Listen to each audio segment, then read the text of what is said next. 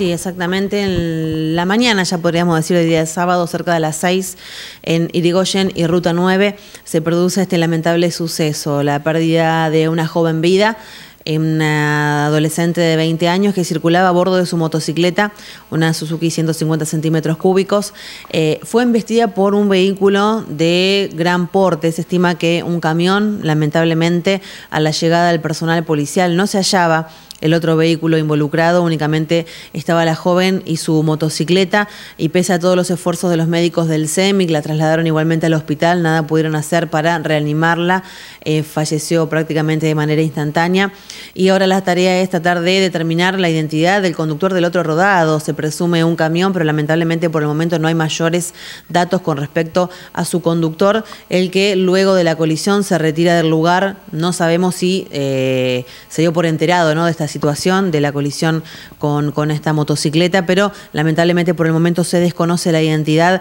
del otro partícipe de este trágico accidente que se llevó la vida de una joven cañadense de tan solo 20 años. Otro suceso lamentable también es eh, un accidente en el que resultaron con lesiones graves dos menores de edad. Esto ocurre cerca de las 3.40 horas, en este caso en Boulevard Centenario San Martín, cuando estos dos menores se trasladaban a bordo de una motocicleta, una Yamaha Krypton, y fueron embestidos por un Ford Focus que era conducido por un joven de 26 años de aquí de la ciudad. Los dos menores son los que resultaron con lesiones de carácter graves, varios traumatismos, algunas heridas de consideración, por lo cual en primera instancia fueron asistidos aquí en la ciudad, pero dado la gravedad del cuadro fueron derivados a un sanatorio de mayor complejidad en la ciudad de Rosario, donde se encuentran internados en observación. Así que esperamos la recuperación de estos dos menores que resultaron lesionados en este accidente también en la madrugada del sábado.